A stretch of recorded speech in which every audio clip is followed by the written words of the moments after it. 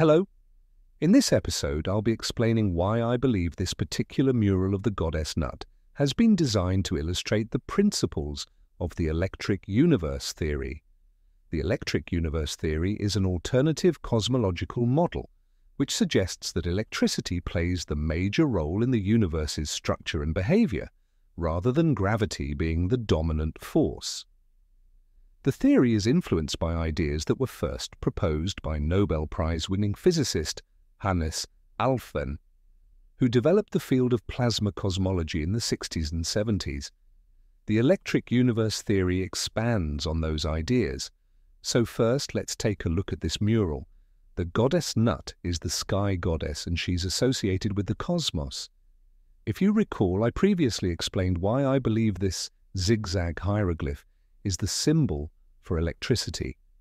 As you can see, it appears four times on Nut's body, or to be more precise, there's two pairs, and they're running from her shoulder to her ankle. In the human body, the bones in the legs are denser than the bones in the arms. This density gradient is due to the mechanical load that the legs support.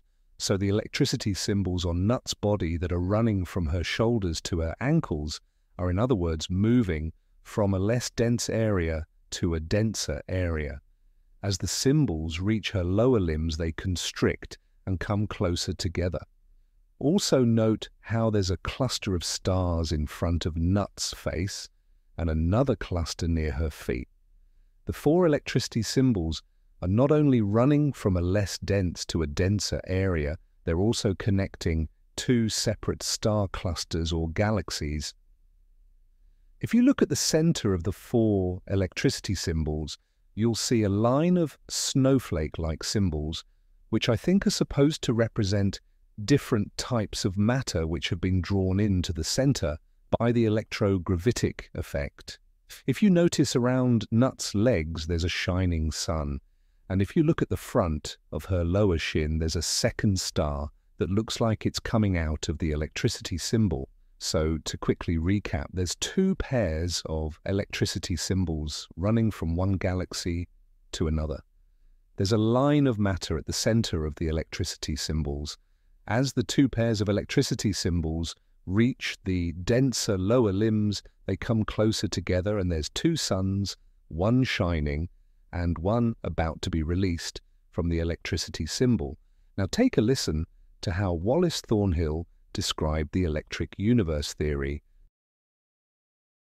In the electric universe, galaxies are an electromagnetic phenomenon, not a gravitational phenomenon. Once you accept electrical activity and electric circuits in space, you realize that we have an entirely different mechanism for forming stars. We're not talking about gravity anymore, we're talking about electric currents. Electric currents in space take a form known as Birkeland currents, which is twin filaments. In deep space, the amount of matter per cubic meter is extremely low. It's the best vacuum that we know of. An electric current flowing in deep space in between galaxies or between stars can only carry very little current. But the sheer size of these current filaments can be light years across when the filaments arrive at a cloud of denser material. The effect is to cause the current to constrict.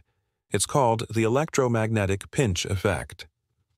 As the filaments become narrower if there's sufficient material, the current density gets to the point where atoms begin to give off light.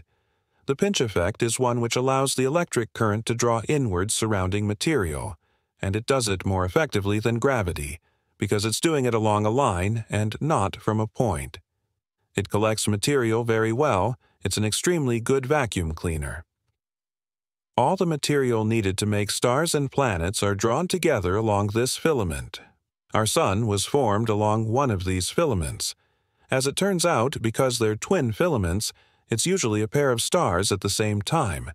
It's known by astronomers that binary stars are present in remarkable numbers, and it's always been a puzzle. Once the stars have formed, they become heavy, and the filaments, just like in a novelty plasma ball, are moving, snaking about, and at some point the stars are left behind, and the filament moves on. Stars being an electrical phenomenon, they continue to shine because the electric current flowing through these clouds is everywhere. There are minor filaments alongside major ones, so the stars then shine according to their environment. What are your thoughts? Do you think the ancient Egyptians believed in the electric universe theory? For anyone interested in watching the full Wallace Thornhill interview that I was quoting from, there's a link to it in my posts section. And that's all for now. Thank you, and goodbye.